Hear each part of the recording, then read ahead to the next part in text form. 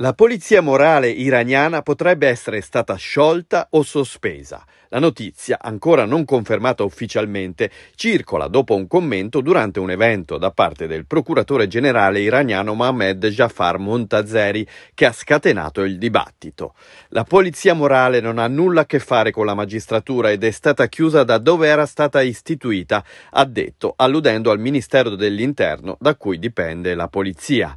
In una dichiarazione di sabato, Montazeri aveva anche detto al Parlamento iraniano che la legge che impone alle donne di indossare l'ihab sarebbe stata esaminata. Dunque, al momento non è chiaro se la polizia, che ha il compito di far rispettare il codice di abbigliamento islamico del paese, sia stata chiusa, sospesa o sia ancora attiva, ma senza più possibilità di intervenire.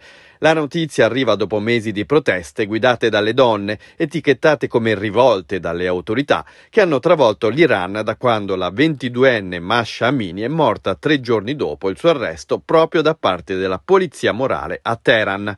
Nessuna conferma da parte delle autorità competenti, ma non è un caso che i media ufficiali iraniani abbiano diffuso una dichiarazione di apertura, ma molto ambigua, da parte del presidente Raisi. Le basi repubblicane islamiche dell'Iran sono costituzionalmente radicate, ma ci sono metodi per attuare la Costituzione che possono essere flessibili, ha dichiarato.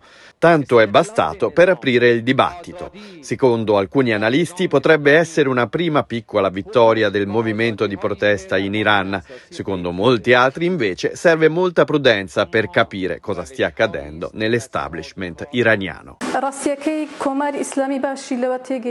Il regime iraniano sa benissimo che sta vivendo i suoi ultimi giorni e sta per cadere e sta facendo di tutto per sopravvivere più a lungo. Sa benissimo che se permane l'obbligo del velo è destinato a scomparire. Questa decisione mira a influenzare l'opinione pubblica, ha spiegato Najmi Labdi, iraniana residente in Kurdistan. Penso che questa decisione abbia lo scopo di mostrare al mondo che per loro va tutto bene. Spero che questa decisione non abbia un effetto sulle manifestazioni e sull'opinione della comunità internazionale sull'Iran, ha sottolineato Soma Akhmidzada, giornalista attivista in un partito di opposizione curdo-iraniano.